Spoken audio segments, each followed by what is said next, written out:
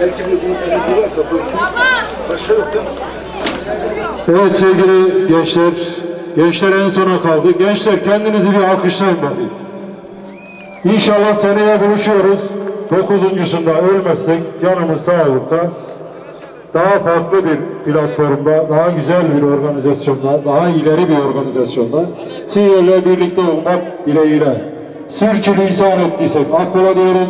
Hepinize hayırlı geceler diliyoruz. Saygılar, selamlar. Bu arada fotoğraf makinesinin gerisindeki Adem kardeşimiz de ben kendisine teşekkür ediyorum. Fotoğraflarımızı çektin, emek verdin.